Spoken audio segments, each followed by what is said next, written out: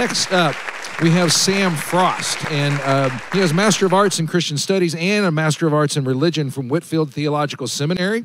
He was a, prom- a prominent leader in the hyper preterist movement for several years until 2010 when he announced his rejection of that view. Now, uh, speaking of journeys, I mean, that it takes a lot of guts to do that. It's, uh, you know, just being looking at evidence and continue to just pursue truth, you can adjust yourself, and especially if you're a leader in a movement, to do that um, is, I think, fascinating and also very encouraging in a lot of ways. Um, uh, you can read about it in his book, Why I Left Full Preterism, which we have uh, at the book table here live, uh, which I will be purchasing and reading. So he's also author of Daniel Unplugged, several other books besides that. Uh, you can find his blog at vigil.com blog. So let's everybody, uh, again, he's not talking about preterism. He's going to be talking about spiritual death in Genesis. And so let's give it up for Sam. All right.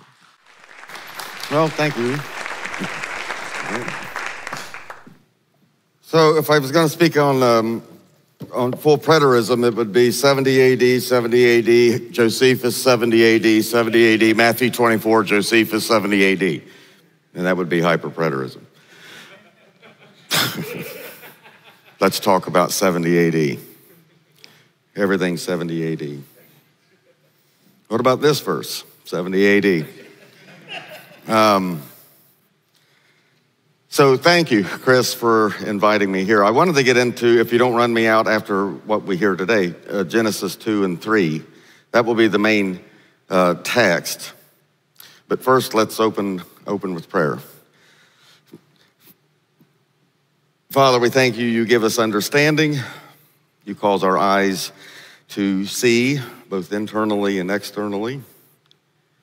You cause the light to refract and bend in certain ways that we see things and understand them. You cause our understanding. You give us wisdom. You are wisdom. You are knowledge. You are truth. Your word is truth.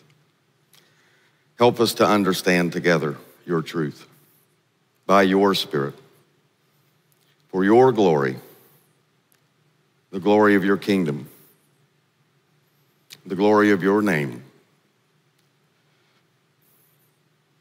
We thank you for everything that you've given to us our life, our breath, and our thoughts.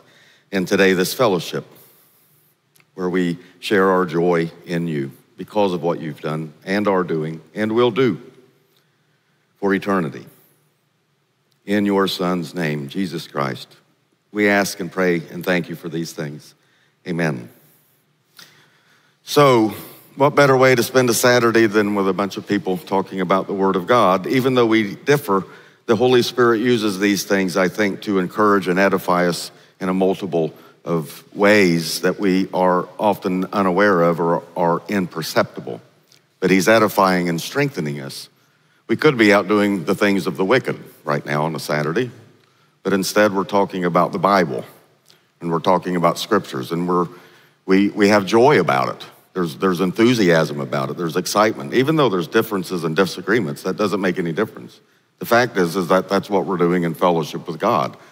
We want to fellowship with one another because something, someone has brought us together and united us in the body of Christ that otherwise, most of you, I probably wouldn't hang out with at all because I just don't have anything in common with you. Quite truthfully, I'm pretty much one of these loner guys. So, but when I do get to meet you and when I do begin to fellowship and we do begin to talk about Scripture and the Holy Spirit, Holy Spirit and, and Jesus and salvation and all of it. And all of a sudden, there's a thing that begins to happen with me and Chris or whoever I'm talking to, and, and there it is. And that's the Lord. That's God. That's what He's brought us together. So, I say all of that so that you'll be nice to me. Hopefully, you won't run me out after I get through this text. One of the things I was listening to uh, yesterday is how we approach text, and we have filters that Eli talked about. We have different ways of looking at text, coming at text. Of course, there's traditions, and you can wade through all of the postmodernist philosophy and linguistic philosophy and all of that kind of stuff to get into particular texts and read them in a way, and another person reads them, and then we come out with just two almost completely incompatible views. Or there's also uh, traditions that uh, we are a part of that help us read our text. And all of these things are necessary, they're all good, they're all included in what we want to read into the text, and then what we all want to say, I want to believe in what the Bible says. What does the Bible say? And in Genesis, we find that very thing going on there, and I think that it's uh, by the Spirit that it's placed there. What did God say? I think that what happens in Genesis 2 and in 3 is exactly those kinds of things of figuring out what it is that he said. Exactly what he said. For example, in Genesis chapter 2, he commands Adam, or an instruction, Jephthah, he gives him an instruction, and he says, You can eat from all of the trees of the garden except this one. I don't want you to eat from this one. In the day you eat of it, you will die. Now, Adam is the only one on the spot here. There is no Eve. The Hebrew is singular. He's not giving this commandment to Eve. In fact, he never does give it to Eve. That's a significant thing. However, Eve comes into the picture, and in Genesis 1:28, God says that you may eat, and for all of you, uh, for all of the trees of fruit or tree or fruit-bearing trees, you may eat from all of them. They will be for food to you.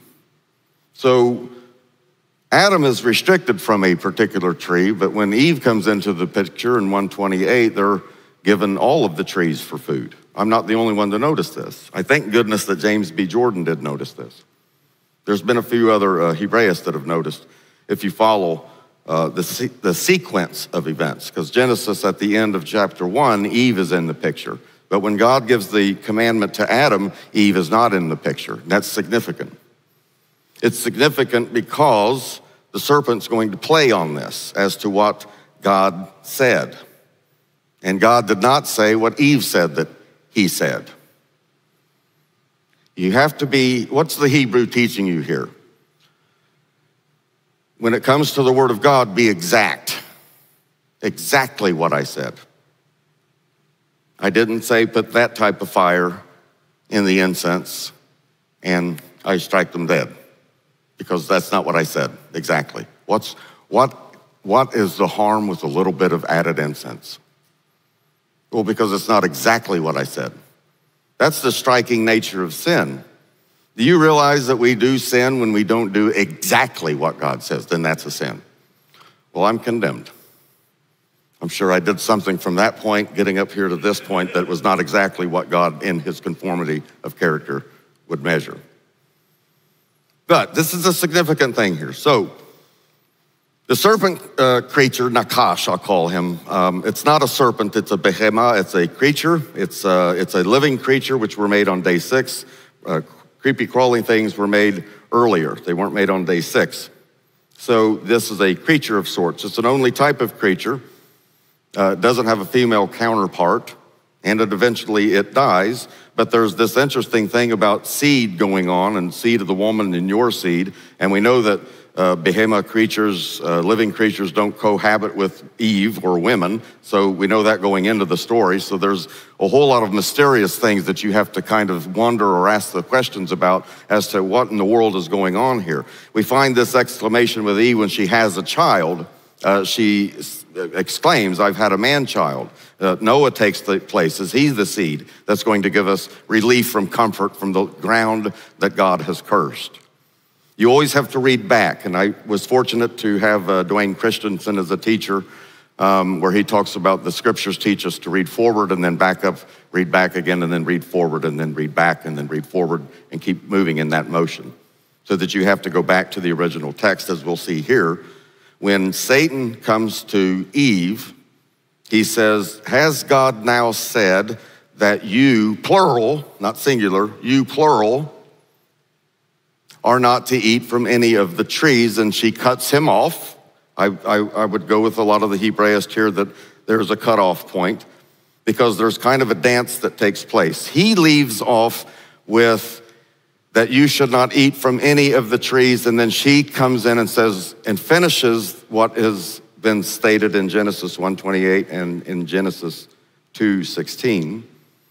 There's a conflation there of these two texts.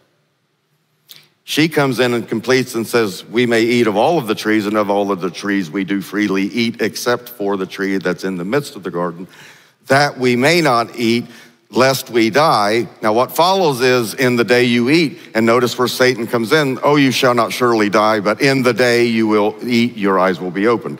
So the whole text and commandments, that's interesting. in the Hebrew text because what it's doing is bringing together Genesis 128 by mentioning the word fruit, which is not mentioned in 216, it's only mentioned in 128.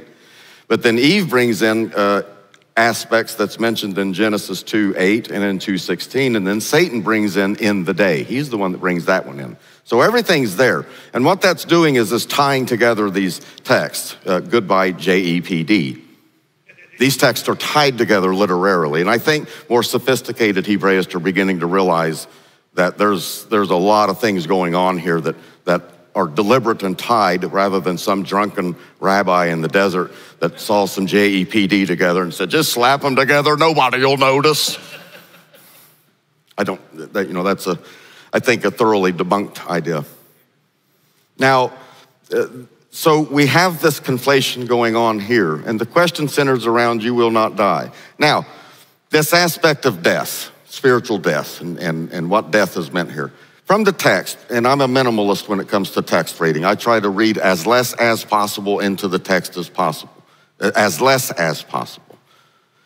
And I don't see anything going on here about spiritual death or, or this, that, and the other. It's just death. And there's no idea of physical death. I don't like the phrase physical death. It's just death. The scriptures don't use physical death, spiritual death. It doesn't use those types of phrases. So when we say, you know, is that physical death or is that spirit? It's just death.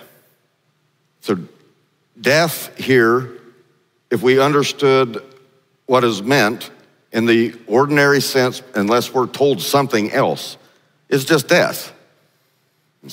You'll, you'll die. When you eat, you'll die. That's the idea. Now, some people like to make uh, the idea that uh, dying, you will die, or there's an eventual kind of thing. But the same construction, an infinitive absolute followed by an imperfect, is of all the trees of the fruit, of the uh, fruit, of all the fruit of the trees that are in the garden, you may eat. That's an infinitive absolute followed by an imperfect. But we don't say eating, you shall may eat. We, we don't translate it that, or we translate it, you shall certainly eat. That's what infinitive absolutes followed by imperfects do. It's just certainty. You will certainly die. I can go either way on the time, but the focus is when it says in the day you eat. That seems to put a focus or an emphasis more on kind of an immediacy kind of thing. And it's interesting that when Yahweh does show up, he shows up in the day. It's in Hayom, the day. So he's in the day. He shows up in the day that they've eaten. I'm getting ahead of myself.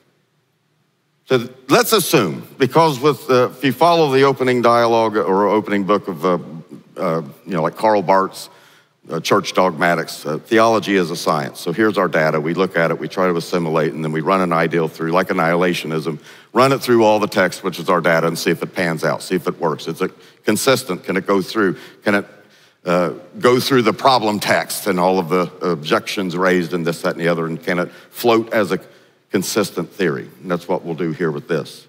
And then tie it and see what it does with annihilationism,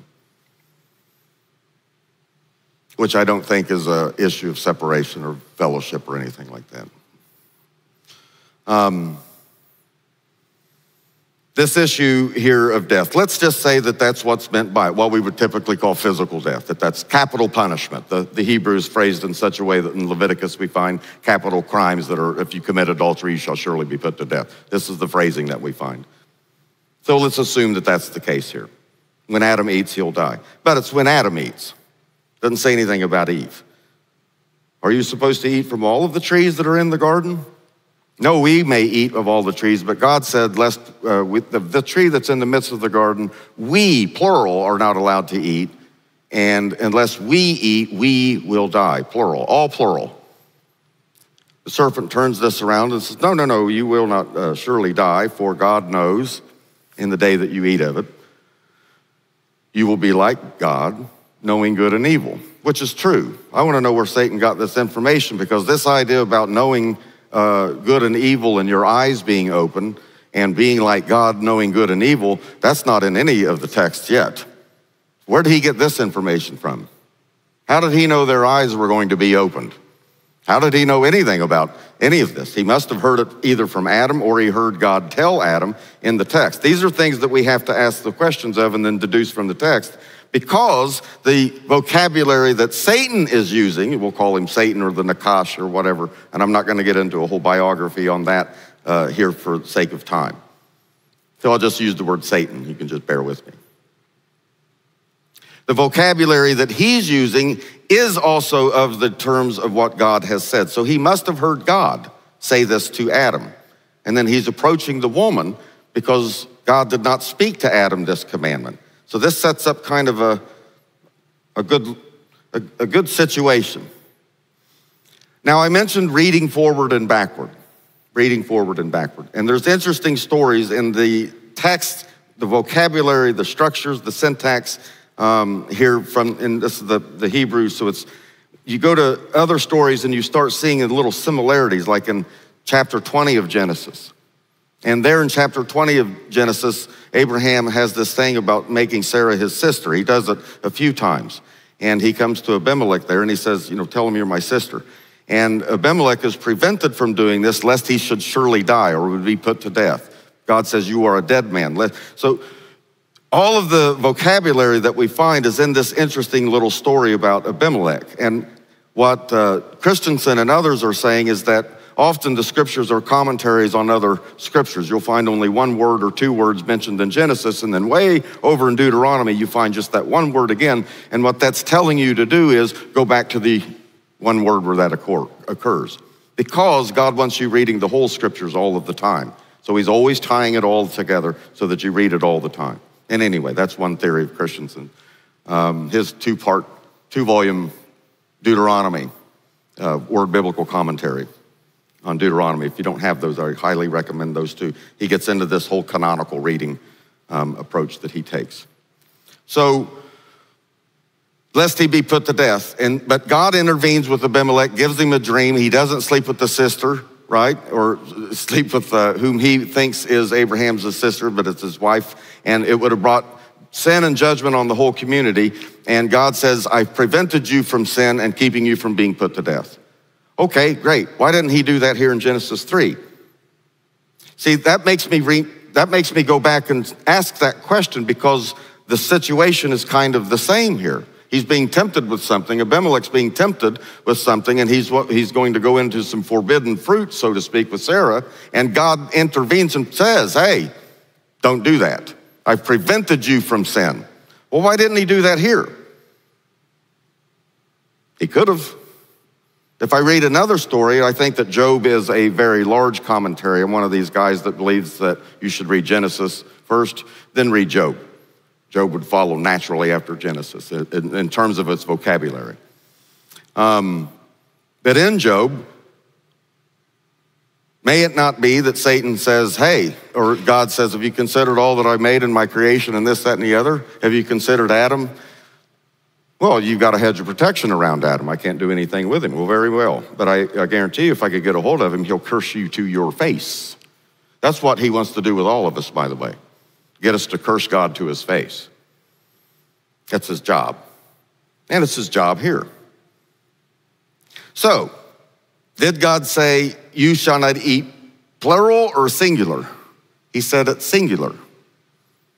Satan goes to the woman whom it was not spoken to, asks her, So, what is it that's being said? Oh, no, you, plural, shall not die. When you eat, you shall have your eyes open and you'll know good and evil like God. Before I get into the whole punchline here, there's another thing going on. Adam and Eve are perfectly innocent in this. The tree is good for food, that is, as, as it states at the beginning of Genesis chapter 2, that the tree is pleasing to the eye and it's good for fruit. So when Eve sees that it's good for food, she's not lusting. Now, I've read in commentaries where she's lusting. That's not lust. It's good for food. It's what, the, it's what the text says. Everything God makes is good. The tree of the knowledge of good and evil is good. It's good because God made it. It's in the midst of the garden, and it's good. Everything he makes is good. All of the animals that he makes are good, including the one in Genesis chapter 3, the animal that he made, which was more craftier than all the other animals. Is there any indication here that this creature is evil? in the text? Fangs, claw, blood drenching, drooling out of his mouth, frightening Eve into this conversation. No. It's an ordinary conversation with an intelligent being talking to another intelligent being. There's nothing scary or spooky here at all. He's asking a question in light of the fact that Adam was given a commandment not to eat, and now this Eve creature comes into the picture. A good prosecutor is going to come along. Does the situation now sit uh, now, now change? Are you both now uh, now? Uh, let me. Can I get some clarity on this? Are you both now not allowed to eat from all of the trees, or how does this work now that you're in the picture? Circumstances have changed. Now we know in insurance, if you bring another human being into your insurance, that changes the policy. Everything changes. What's going on here? At least that's what he's asking. And she reverts back and says, No, we shall not eat. We shall not even touch it. Which, by the way, we shall not touch it. People like to harp on that as, oh, there's her sin. She's adding to the Word of God. Uh, no, she's not. I think Calvin got this actually correct on this one. Uh, that's her piety because if I'm not supposed to eat something, better not even touch it. I got to touch it before I eat it. Best not to touch it. Oh, that's just good stuff. I highly recommend that. If you're struggling with something, uh, cut your hand off if it, if it offends you. You know, if you're, cut your hand off. That's what she's doing there. We could call them fences. Just best not even to go around certain places or certain things if it's going to be a pain or a bother or get something that, that uh, gets you to do something that you may not want or puts you in a situation of temptation. I suggest not going there. That's, this is piety here. This is innocence. Keep in mind, sin does not enter in until the transgression is broken. Prior to that, there's no sin. So, how can evil and sin and death already be working in these two and leading some sort of rebellion? Yeah, I want to be like God. Yeah, how dare He impose a rule over us, giving us everything and all these gardens and gives us all these trees and all this fruit and, and leaves us out with one tree? How He's imposing His rule over, oh, I want to be God. Uh, is that going on here? I don't see it. John Piper says that's what's going on here. I think I can do it better than you, God. that's not in here. That's not in there at all.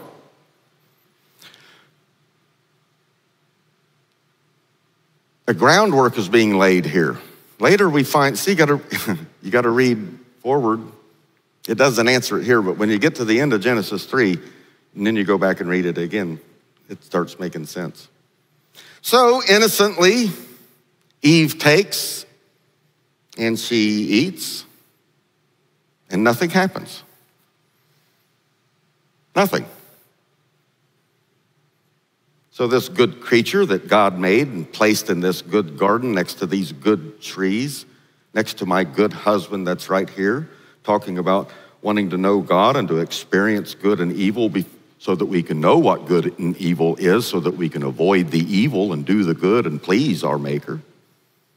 What's wrong with that? Well, nothing. Be imitators of God. Doesn't God want us to know what good and evil is? And the serpent is correct. He shall be, man has now become like one of us, knowing good and evil. Yeah, correct. Uh, people on my view have always asked, well, you're making the Satan tell the truth. Well, you know, he occasionally knows how to. That's what he uses in deception. Uh, deception always has a, an appeal and a look of truth to it, or it wouldn't be deception. Deception operates when you don't know that you're being deceived. Now, that's powerful deception. When you're doing what you think is good, when it's actually evil, that's the best. Paul encountered that in Romans 7 which borrows a lot of this language. Paul's persecuting and having some put to death, or at least appealing their death, or, or, or appealing or, or wanting their death, or dragging them out of their houses, or doing whatever it is that he's doing. And he's doing so because it's blasphemous. This Jesus of Nazareth sect is blasphemous. And with blasphemy, according to Torah, you expose it, you persecute it, you imprison it, and if you can get away with it, stone it, put it to death. That's what you do with blasphemy. I'm following the law of God, I'm doing what is good. Meanwhile, he's persecuting Jesus and God the God of Abraham himself, which he later finds out. The very good that he thinks that he's doing is actually evil. And he uses the word, and sin deceived me. Well, Eve's deceived. She says this. We'll get to the confession. But anyway, nothing happens. It's very significant. And then she gives to Adam, who's there with her. Um, and people make uh, issues. Was Adam there standing with? Yes, it's, it's, it's what it says. He's there with her. He's witnessing the whole thing here. That comes out very clear in, in the end of Genesis 3. Gives to him, and he eats. And then their eyes are opened. Now, whether they know their eyes are open, we don't know. It just says, and their eyes are open. And they knew. Now, the noun is da'at, so knowing is yada. So, and they knew. That's knowledge. That's knowledge. And they knew that they were naked. There's an interesting thing between being subtle and naked. Satan is subtle, arum they are naked, aram. Very close words, they're just pointed differently, the, but the consonants are the same. That's another study. Um, their eyes are open, and they knew that they were naked. Now, the verse before this, just before Satan enters into the scene and starts talking, it says, And they knew that they were naked and they knew no shame. Or they were both naked and they knew no shame. And now all of a sudden, we want to read into the text that all of a sudden uh, Eve was embarrassed uh, of her private parts, and Eve and Adam all of a sudden started doing, and that's not, the, that's not what it says. Read it. It's not what it says. I'm not embarrassed ever in front of my wife getting out of the shower or anything else, ever. I have no shame in front of my wife, ever. She has no shame in front of me. I have no shame in front of her. Uh, why all of a sudden would they develop shame? They have no shame. There's no shame. It doesn't say that, and they had shame because they were naked. It doesn't say that. Be careful what you read into the text. It doesn't say that. It says that they came up with a good idea of coming up with some aprons and then they got some leaves and they started to sew them together. Apparently unaware that anything has really transpired at all. We don't see anything. And that's the point, because the next verse then says, the Kol Elohim, the voice of God. And I heard the voice of God. And we know, if you know your Bible, if you know your Old Testament, the voice of God, this becomes, this is a central theme. The voice of God. I heard the voice of God. What convicts of sin? If apart from the voice of God, what convicts of skin of sin? What convicts you of a sin? If God doesn't speak, would you be convicted? The Holy Spirit came for conviction of sin. Without God, there's no conviction of sin. Uh, just look in the world. They get away and they, they do whatever they fancy in their minds to do. Not perverted to them, there's no conviction. They relish in it. Paul says in Romans chapter 1 not only do they applaud it, they approve it. They clap their hands at it. The more evil, the more filthy, the better. It's great. This is great. Let's parade it in the streets. There's no conviction, but when the voice of God comes on the scene, there's conviction. And that's what's happening here. So prior to this, they eat, their eyes are open, whether they know this or not or whatever, and then they come up with a good idea. Let's make some clothes. Okay, yeah, how's this? How's this look? Good? Eve? Good? Yeah. Now, is there anything evil about making clothes and tunics and garments? I can't find anywhere in Scripture where making clothes is condemned.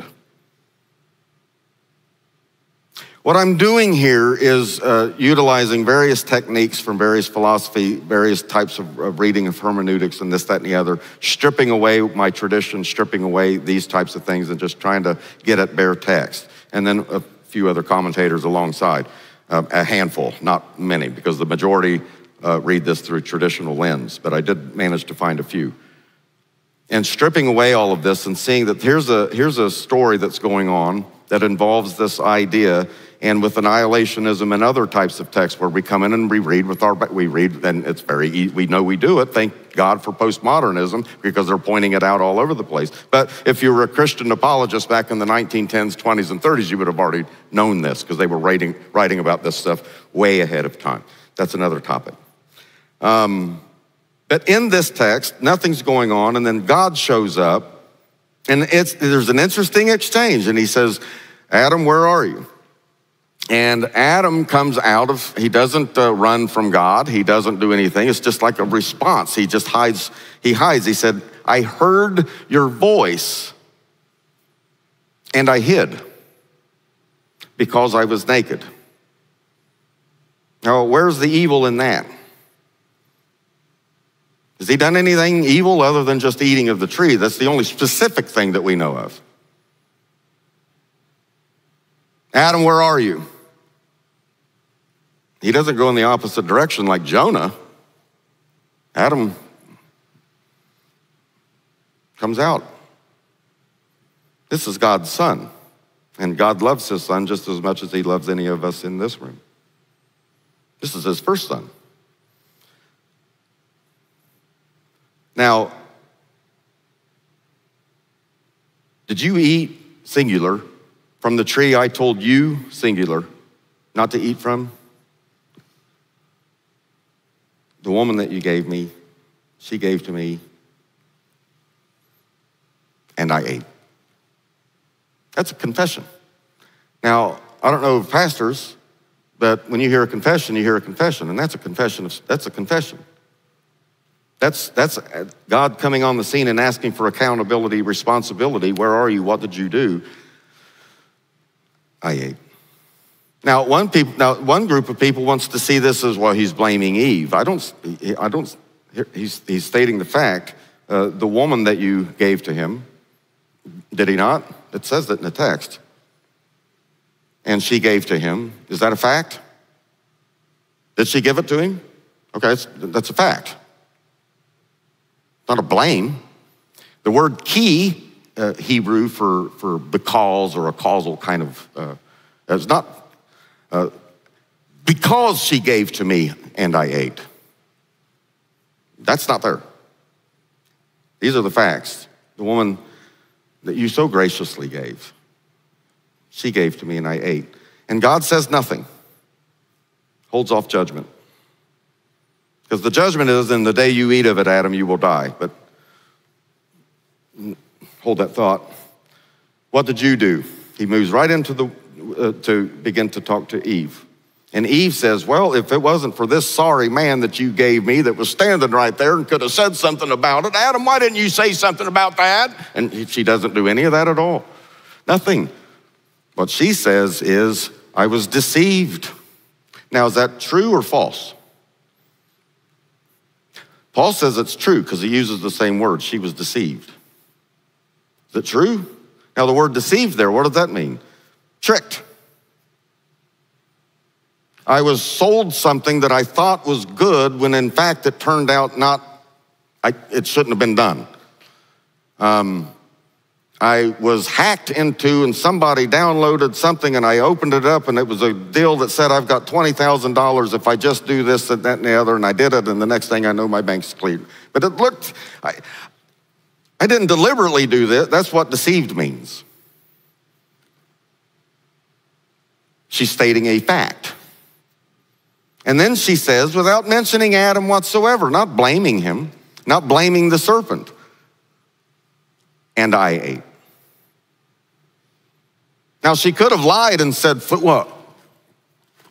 Oh, that. Uh, no, what are you talking about? I didn't, what? Huh? Eat? No, I didn't eat anything. What do you, I, I, he did.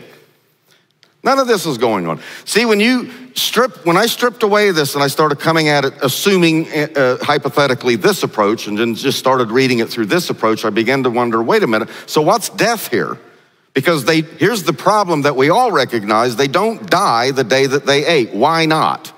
And the reason why they don't is because of mitigating circumstances, because he doesn't say anything to Eve. Instead, he goes directly to Satan and he doesn't even question Satan. In fact, he lowers the boom on him and he says, Because you did this. Now, he, that's a judge. What did you do? Well, I ate. The woman that you gave, okay. Did you do that? Yes, I did. I was deceived by the serpent and, and I ate because you did this. That's, you see that? He's going right to the source of the problem of evil because you did this. Cursed are you above all cat. Now, is he talking to way to his children this way? No. He's not talking to his children that way. But he is talking to this evil one over here.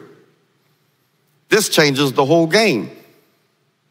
So they didn't spiritually die the day that they ate. They didn't physically die the day that they ate.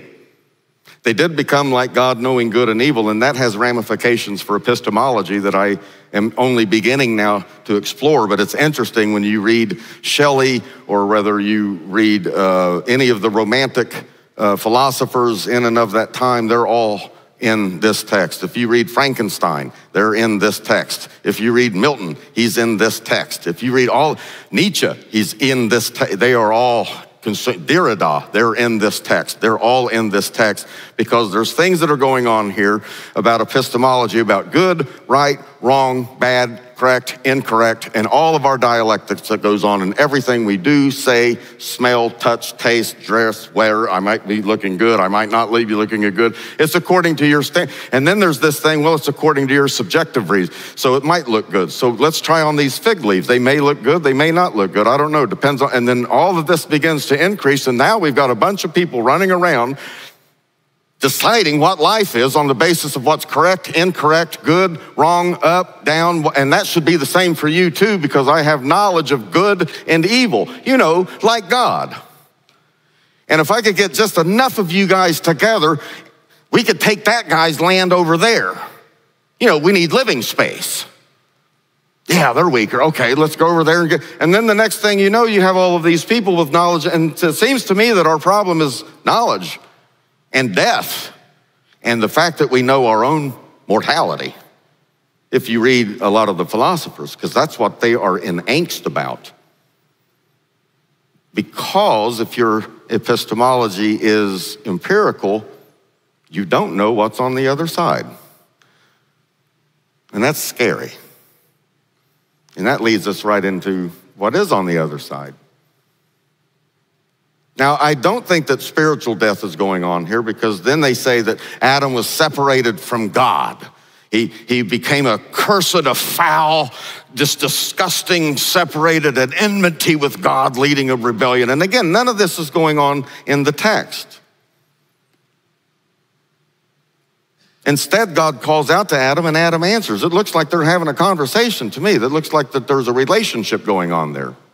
And one's taking uh, the other and saying, okay, this is what's going to happen. There has to be consequences. And then I'm cutting you off from the tree of life. And there's no mistake that the tree of life is in Genesis and the tree of life is at the very end in, in Revelation. That's a, as Christensen would say, that's a canonical, that was purposely done, probably by the apostles in Rome, but that was purposely done. Now, what is it then that's our problem? Well, knowledge.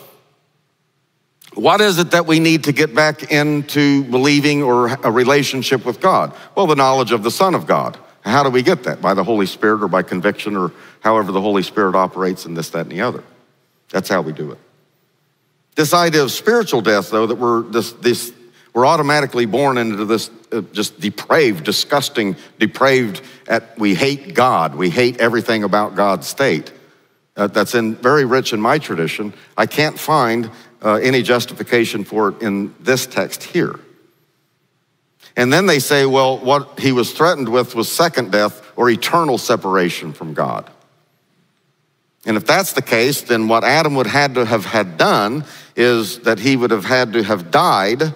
No, he'd had to first to have been regenerated by faith, then die, then raised again from the dead so that he could stand judgment and he'd be thrown into the lake of fire. All on that day would had to have, have had happened. And then they say I'm being ridiculous.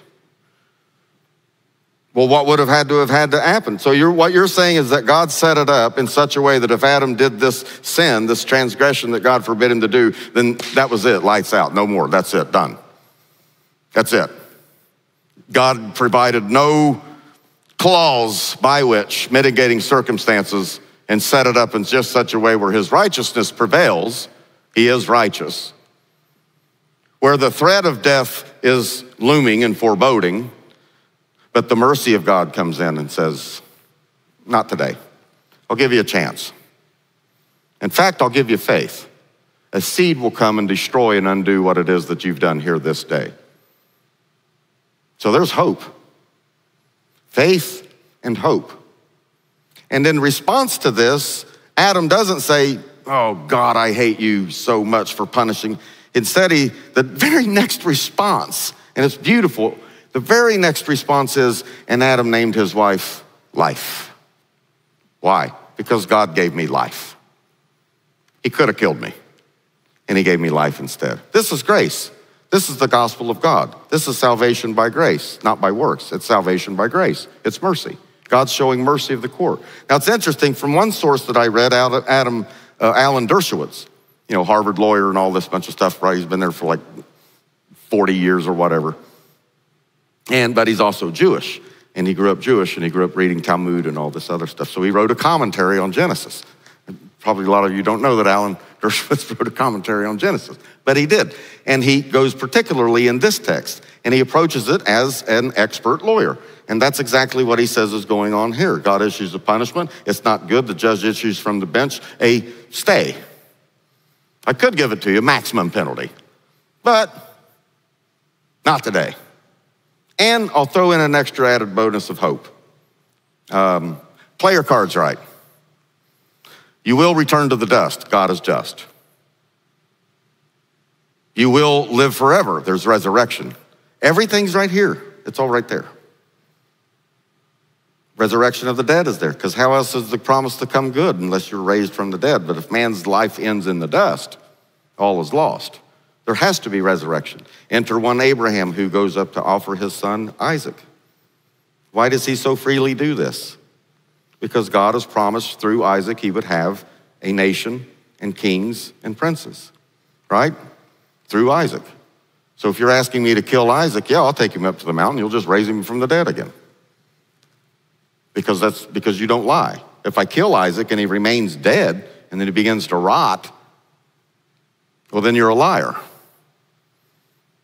It's interesting in the little word pronoun in Genesis where it says, Me and my son are going to go up and worship on the mountain, and we shall return. He knew he would return with Isaac.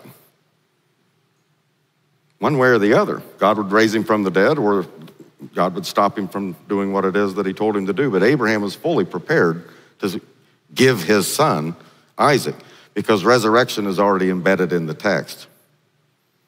It, and I think resurrection is embedded here. So, what is death? Well, what is it that happens? And I'll finish. I need to be told. Yes, 1106. When do I need to end? Or for questioning or whatever. What? I don't know what my. Okay. Um, Oh, good. That's rare. Um,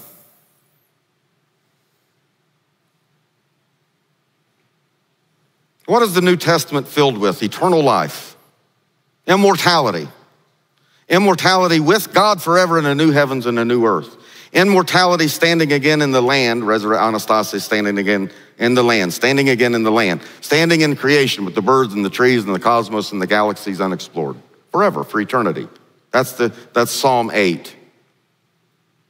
And to enjoy that forever, for immortality, Im- immortal life. This is what Adam is separated from and cut off from. It's very clearly shown to you in the text.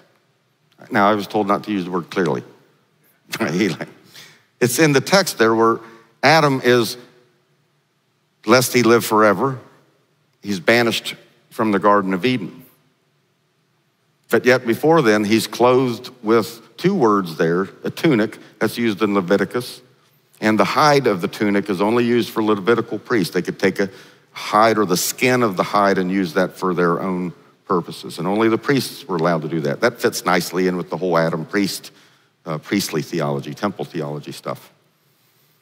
God clothes him and covers over, clothes him, so that you know that blood is shed. Where, where, did I, where did Abel ever get the idea of shedding blood to offer to God? Where did he? Well, his dad taught him that. His dad taught him this is what happened in the garden, and God did this for us and clothed us instead. And Adam, uh, Abel, by faith, recognized, oh, right, you, you, we should have died, but God in His mercy has allowed us to live. I will give you the best of my flocks. I'll give you the best of everything that I have. That, that see, Abel got it. He, he lived by faith, was regenerated, and understood what was going on. Cain, on the other hand, kind of got it, but wanted to, according to his knowledge of good and evil, invent his own way of doing it. See what's going on there? They're both making sacrifices and religions and doing their own things, but one wants to do it his way and the other one's doing it the way that God has revealed for it to be done. One is merciful and is understanding the mercy that's involved in the sacrifice of offering a sacrifice as Abel does it.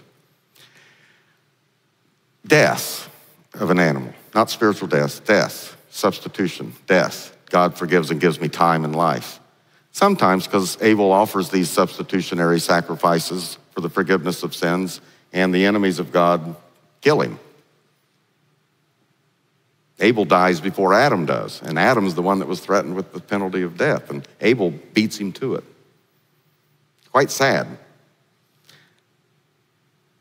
If the death that is mentioned here that is stayed is the death that is to be destroyed when Jesus returns and swallows up the death, ha mut, swallows up the death in Isaiah 25. And that's the same one that's picked up in Romans and in 1 Corinthians 15, where Paul quotes Isaiah 25 and talks about the covering, their canopy, uh, using the language of Genesis, that covers over all of the nations, which is Hamut, which is death. And that will be swallowed up. And Paul pictures that as Christ swallowing up the death. And we see that all the way at the very end in Revelation, where an allusion is made to Isaiah 25 and the death. So you can go to Romans chapter 5 and realize with Adam that the death, hathanatos, that's the word that Paul's using, hathanatos, the article's there with that, like hamut. Death enters into Adam through, so what death is he talking? Well, he's talking about the death that I'm currently going through and that you're all going through, and that inevitably we will all be there one day, and we know it. And so we get insurance and we plan around it and we have little being, things on our cars that I can't stand that go dung, dung, dung. My dad found a way to take that out so it wouldn't ring because we hated seatbelts. that was my dad. Um, wear helmets. Why? Is your kid safe? You got insurance? You're 50 years old. Oh, did you get a colonoscopy? You know, when you're 50 years old, you got to get a colonoscopy. Well, you don't want to die, do you? How much do we do during our day that's focused around avoiding death? It's pervasive.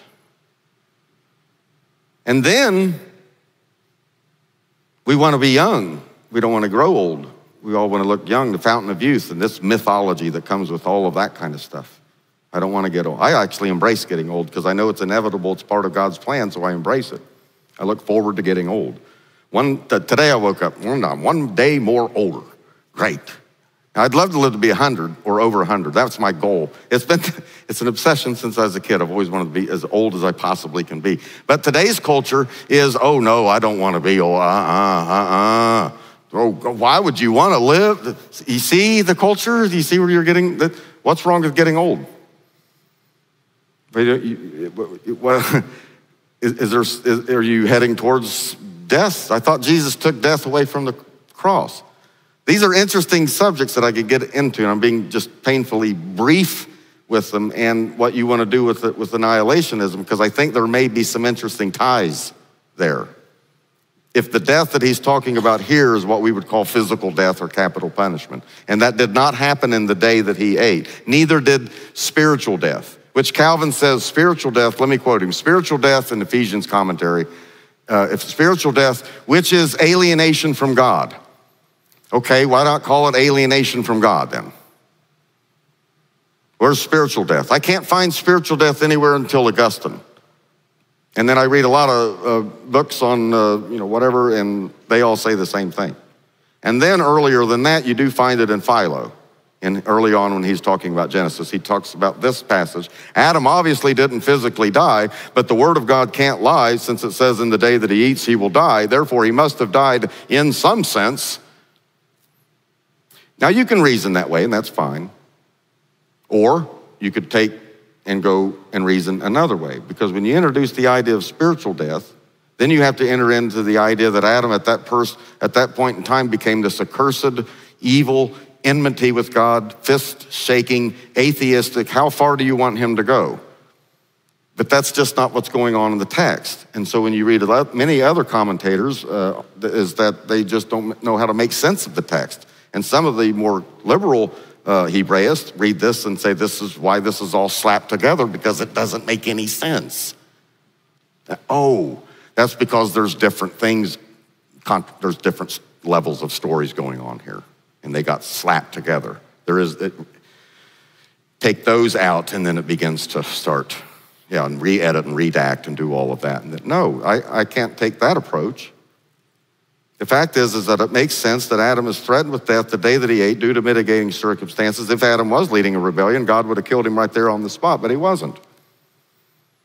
His son Adam was, oh, God condemns the only time because comes up. Key, because, because you hearken Shema, listened Shema, uh, Adam Shema, he hears the voice of God. Shema, because you hear uh, the, the uh, voice of your wife. Now, you have to ask, when did he hear the voice of his wife? Well, the only time that Eve speaks is when she's speaking and he's with her.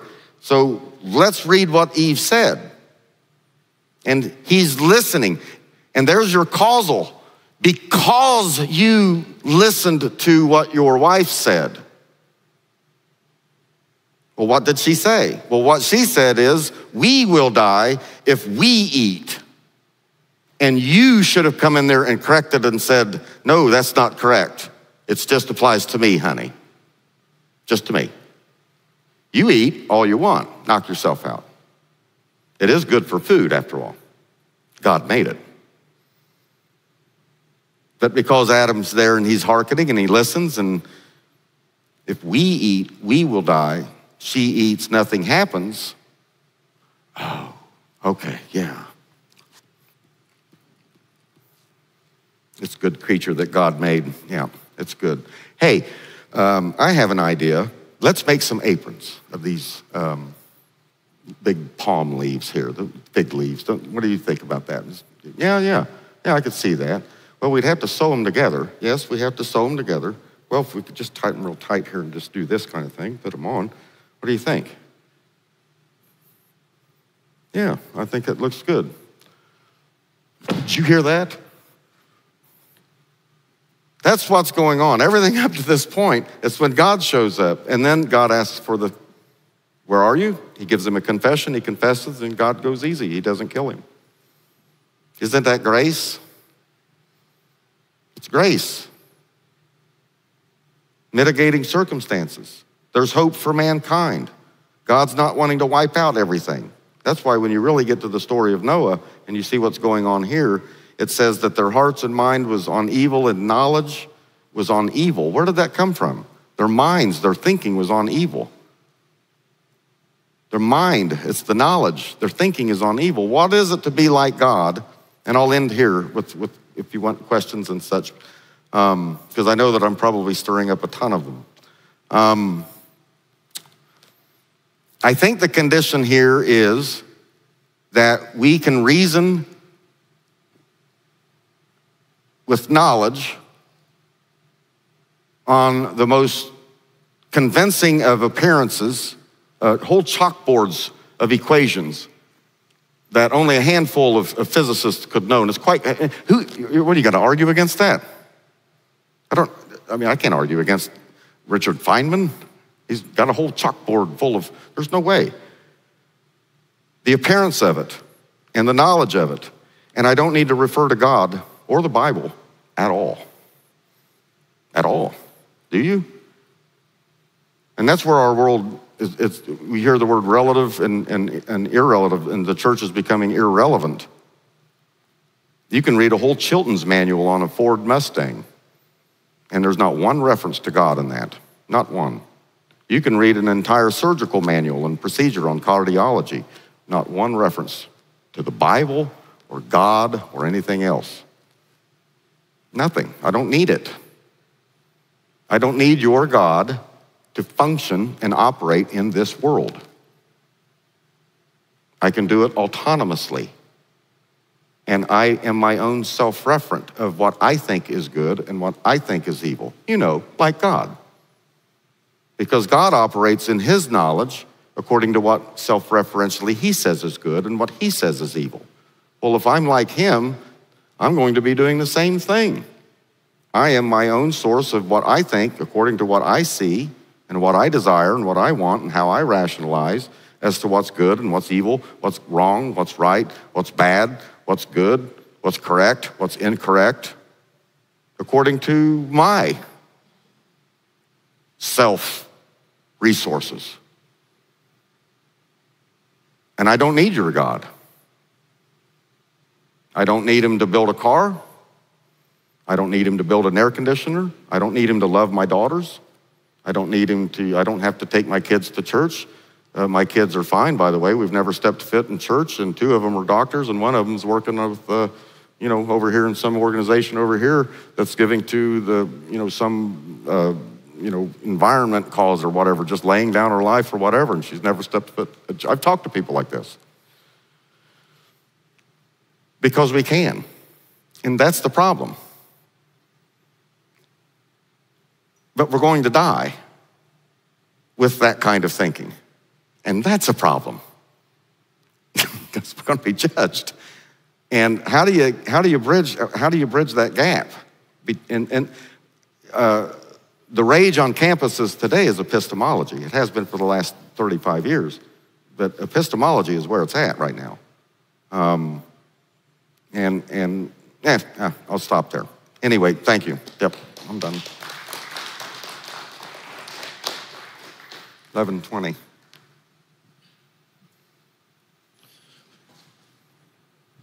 All right. I hope, surely by now everybody knows the drill, at least in the room. Step up to the microphone. and again, I, uh, get, it's okay to get very close to it and speak directly into it for the sake of those watching online, especially, so they can hear all you lining clearly. up. And, uh, and we do have people lining up to ask questions. And again, you see that uh, rethinkinghellconference.com slash questions. Uh, they go straight to my phone, and I'll read those to, to Sam. All right, let's fire away. So, so as a conditionalist, I'm often frustrated with uh, how little attention uh, is paid to death in Genesis 3 as a consequence. Um, but uh, I guess my question for you is because obviously most traditionalists focus on this sort of spiritual aspect of, of death. Um, do you see spiritual consequences for sin, for, for that disobedience in Genesis 3, or is it just, the, just physical death?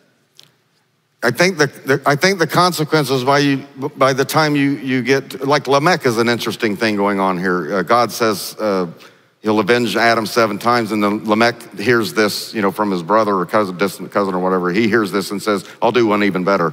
You know, seven times seven. You know, he it's. And then by the time you get to Noah, the story of Noah is just, it's the knowledge of the mind that's going on is always on evil all the time, continuously.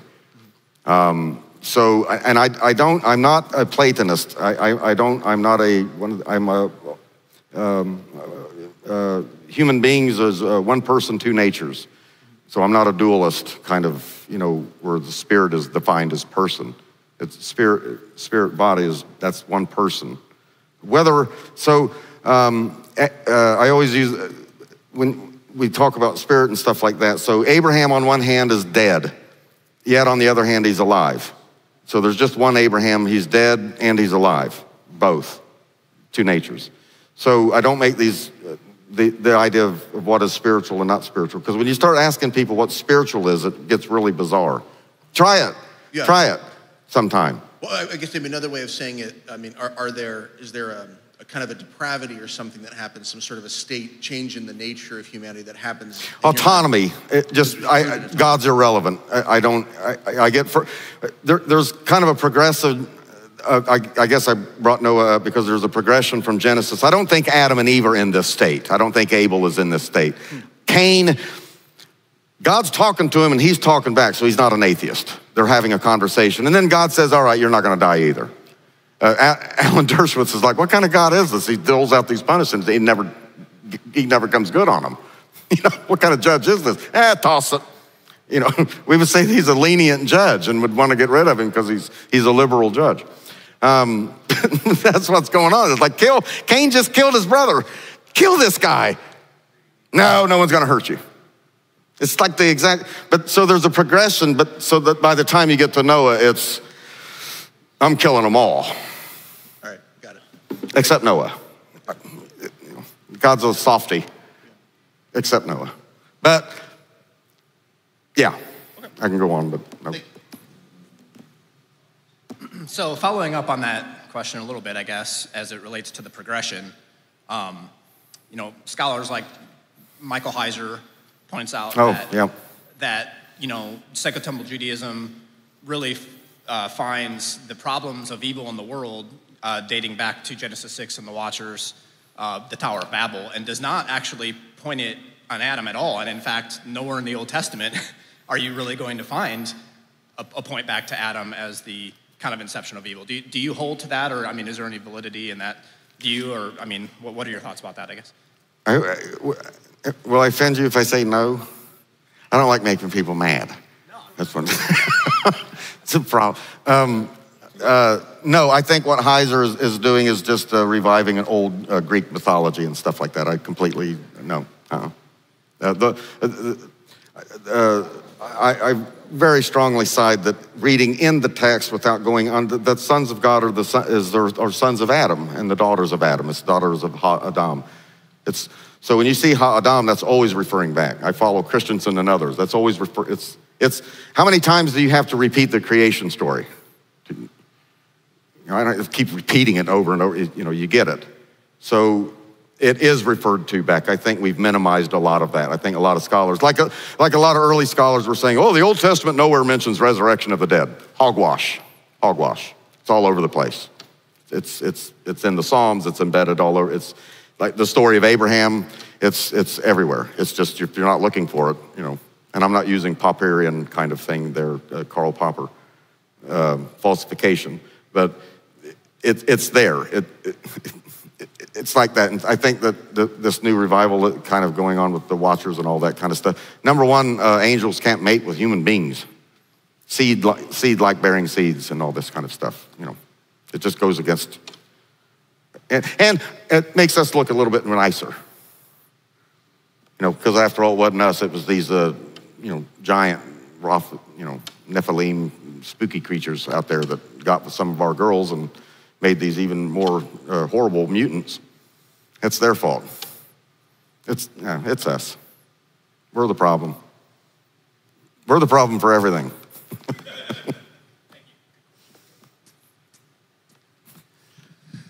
Wham. I'm really short, so I have to tilt this down instead of up, by the way. Uh, Sam, great presentation. Uh, I have been saying for several years that um, physical death is, which is a phrase we shouldn't have to use. It's just death, is, is what's going on in Genesis. Redundant physical death. Saying that to me is redundant. Anymore. Exactly, right, I agree. Um, and I know how I have been answering the question I'm about to ask you, but I'd be curious to know how you answer it. What about texts that are very often cited in support of the concept of spiritual death, where Paul will say something like, You were dead in your trespasses and sins, but now you've been made alive? Yeah. How do you, if death is just death, as you and I, I think, agree, how do you explain what Paul is saying there? And thank you for your answer.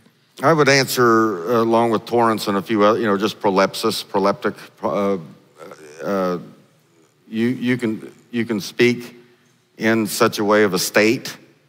Um, if something doesn't change, then this is the state of it.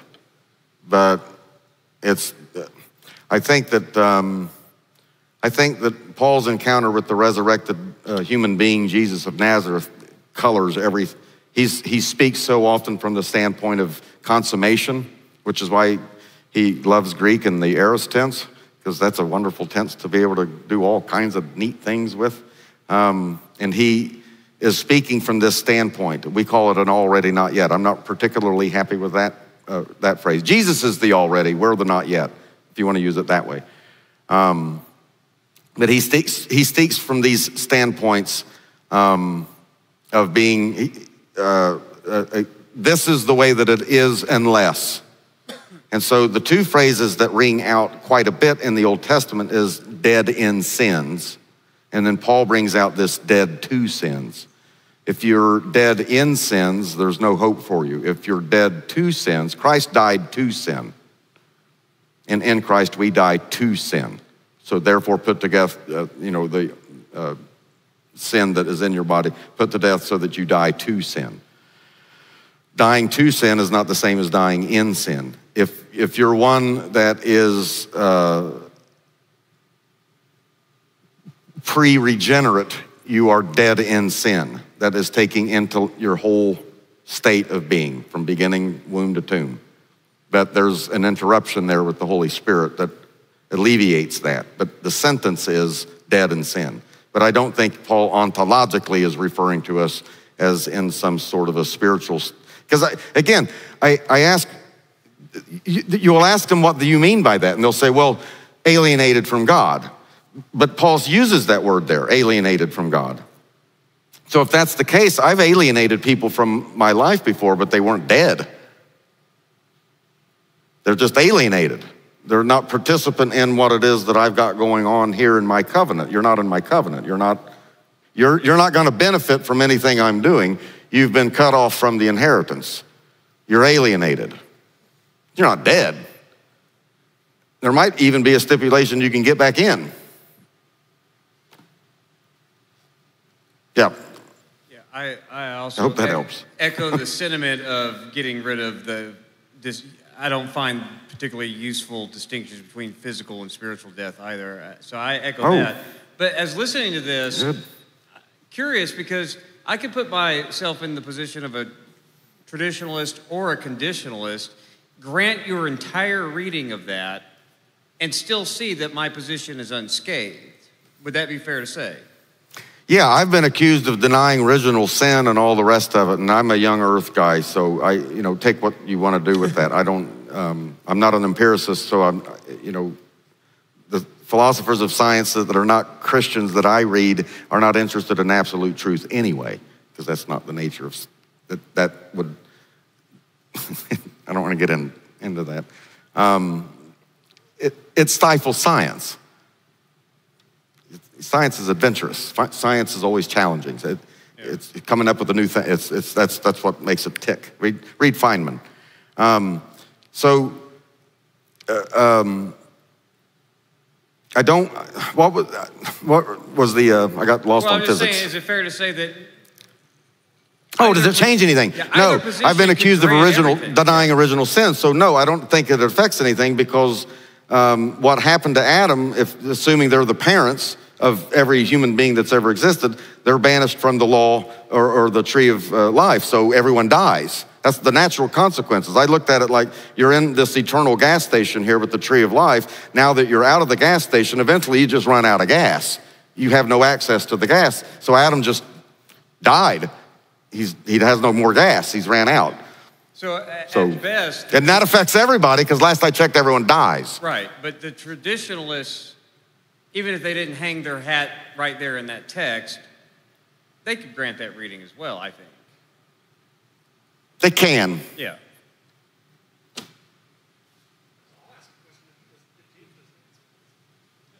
If I understood you correctly, maybe over lunch at this.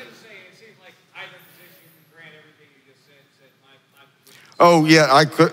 Yeah, mine's not proving one way. Yeah, right, right, right, right, right. Maybe further studies would. I don't, I don't know. Uh, given with your uh, uh, understanding with the tree of life being what, what feeds Adam and, and gives him uh, eternal life until he walks away from the garden, uh, what would you say about the New Testament? Would you tie that to sacramental efficacy with like the Eucharist? Would that be a tie to our uh, reception Yeah. of eternal life through, through food? Yeah, I think there's something actual going on there. What it is, I don't know. Uh-huh. Um, the Holy Spirit, God. Yeah, definitely. In the same way, I think the uh, animal sacrifice was uh, the life is in the blood. You shedding shedding uh, animal blood. That's serious stuff. I, I don't like killing animals, and that you know that's we don't in general. We don't like seeing dead animals and things like that. Uh, You know, we might hunt and this, that, and the other. But even that, we had to be granted permission. Um, and then take what you eat. Don't. Yeah. In, in the law of Moses, there's, specific- I mean, not even taking eggs from a mother while the mother's still, I mean, that's kind of sensitive. That's very sensitive there. Why would just take the eggs? It's- come on, who cares? Well, he's sensitive. These are creatures. These are, these are living souls here. You don't just go around slaughtering animals. So because life is in the blood. So there's an efficacy that was at work through forgiveness of sins. God accepted this as a pleasing aroma, but it only worked up to effect. It couldn't raise the dead and bring immortality.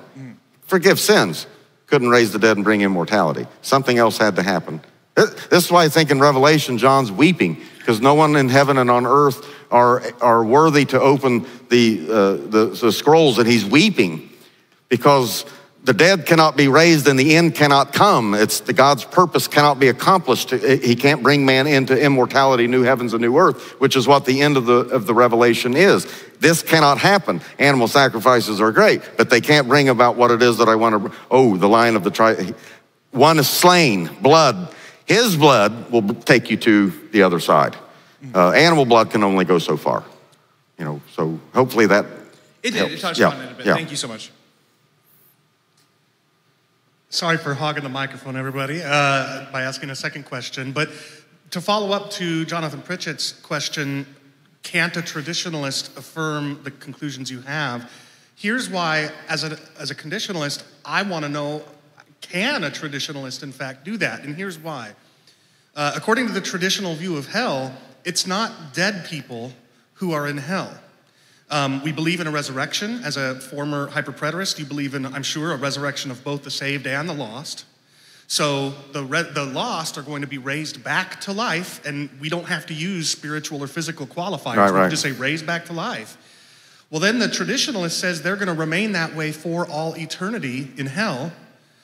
Whereas we annihilationists say no, they're going to literally die a second time Yeah. after being raised to judgment. So my question for you is, and especially in light of the fact that the Bible uses the language of death to describe what happens in hell, if you've come to the conclusion that death is just death and it's not code language for like spiritual death, how do you how could you maintain belief that the resurrected lost will never die? Kicking and screaming. Okay, fair enough. I'm looking into that, but it's very attractive to me. Where uh, you know the that lake of fire would be something that would just. Um, but that's not something I'm, I've gone into yet. So uh, it's it's I'm open to that. If if if that's what this is saying, and, and as Eli was saying, there's very. I've I grew up with a Seventh Day Adventist uh, stepfather. May he uh, rest in peace. He's a wonder, wonderful man. I miss him miss him miss him every day. But and he went to seminary, so I heard a lot of the Seventh Day Adventists, and they have wonderful, tremendous stuff. If you've not read Seventh Day Adventism on this kind of material, uh, I well fudge. so yeah, but well, and but there's other and uh, Seventh Day Adventism is at the Evangelical Theological Society. They're even they're considered evangelical. Um, I can you know I grew up with a wonderful God fearing, wonderful uh, Bible believing man you know, get rid of the Ellen G. White stuff, but what, you know, whatever. We all have our thorns. So, All right. Well, you, uh, you briefly referred to the story of Cain and Abel, and uh, we did get a question online that says, as you read the text of Genesis 4, aren't we reading, quote, shed blood for sacrifice, unquote, into the text? Wasn't God's rejection of Cain's sacrifice due more to his bad attitude? no. There you go. Well, because it's, it, it, it- he says, uh, if you do not do tov, if you do not do good, which, which is in comparison to Adam or Abel, who's doing, who's doing good. And the connections between the first fruits of the, the fatlings, that's Levitical, and the skin and the hide, just a few verses down. So skin, hide, fat, it's, it's, it's Genesis of what eventually does become Leviticus.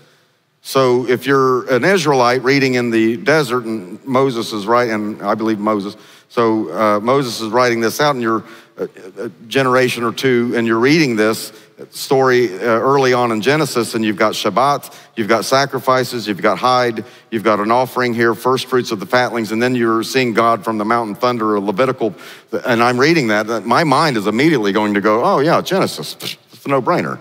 That's, it's so you know original audience relevance but they, an israelite would have read that story of cain and abel and have understood there's right sacrifices uh, and there's wrong sacrifices and you get punished sometimes for these wrong sacrifices even a little splash of little incense you know can uh, god can react very quickly um, why does he why doesn't he do that all the time lets us know the nature of grace he could He could. We walk by grace. Why, you think you're good or something? I always say that to my uh, people that go around because it has ramifications for regeneration too. Uh, this is a consummated thing. Eternal life, receiving eternal life, is, is glorification, immortality, resurrection of the dead. That's when I receive eternal life and I live forever. Right now, I'm just in kind of an interim state. Um, have faith until you until the end of your life. Some people start out here and they're great and they go to church and get baptized. They just don't make it unto the end of their life with faith. And I want my last gasp of breath to be Jesus is Lord. You know, uh, you know. Anyway, I can, That's I'm a great way to finish right there. I want my last breath to be Jesus is Lord. Okay, and that is. We don't have any other Good. online questions for you. Good. Yeah. All right. So thanks, Sam. Everybody. Yep. All right. Good. Thank you.